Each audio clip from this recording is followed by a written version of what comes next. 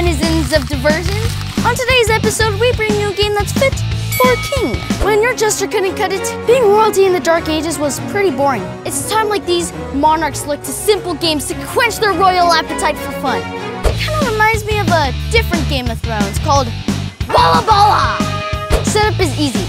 First, get two thrones of awesomeness and set it like five to six feet from your wall. The crazier the designs and the crazier the stuff, the crazier the shot. Next, get a trash can, set it about one foot away from the wall.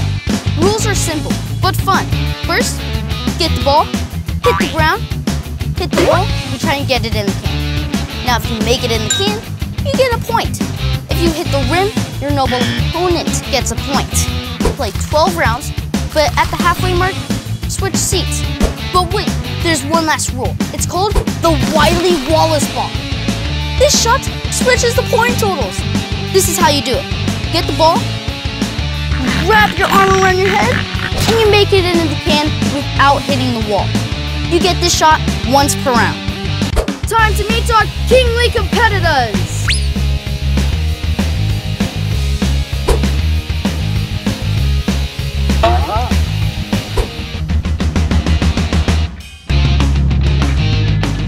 First throw, my lord.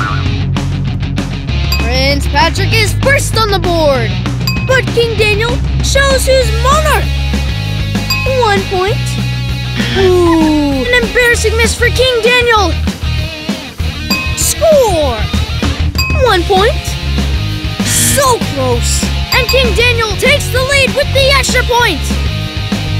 Tie game. King Daniel makes a mistake. And Prince Patrick is pulling ahead, King Daniel won't relent. Round seven, switch seats.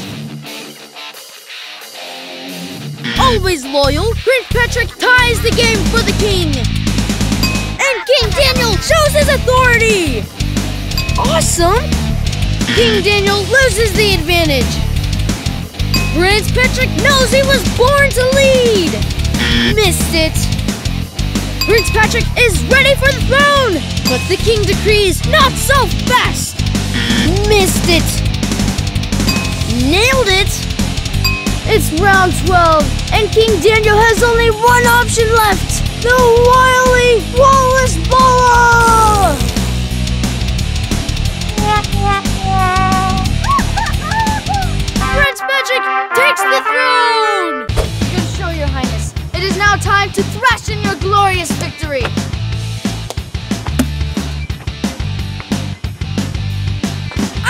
you, become